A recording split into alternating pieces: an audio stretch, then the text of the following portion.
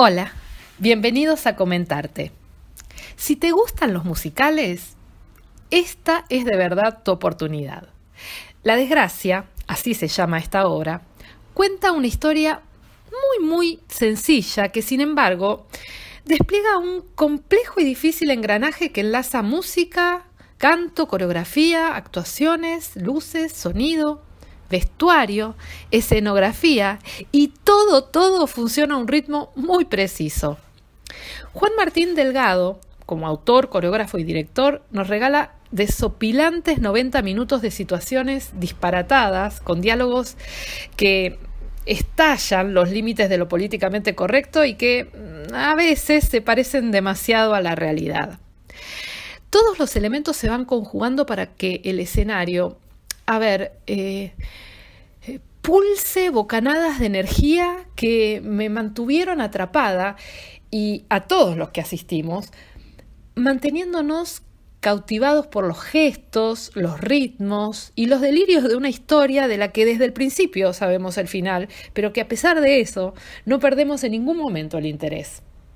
La actuación de Andrea Lovera es, en el personaje de Leonor, es descomunal, es plástica, rápida, magnética y muy divertida. No dejé de mirarla, de verdad. Una actriz completísima que canta maravillosamente.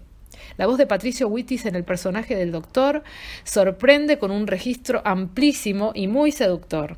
Los personajes de Nora y Ana, interpretados por Mariano Condoluzzi y Belén Úcar, irradian presencia escénica y maestría. Y el despliegue actoral y vocal de Lula Rosenthal y Nahuel Adami como Samantha y el cura aceptan los riesgos de su personaje y los redoblan con desparpajo y mucho humor, haciéndonos saber que son artistas talentosísimos. La música y las letras en distintos estilos van contando la historia, realzando la narrativa magistralmente. El diseño espacial resulta vibrante y la escenografía y los objetos son versátiles en el progreso de la obra, acompañando los devenires de los personajes y sus movimientos. Es un espectáculo impecable. De verdad, como dije, si tu género es el musical o tenés ganas de pasar un buen momento teatral, no dejes de verla.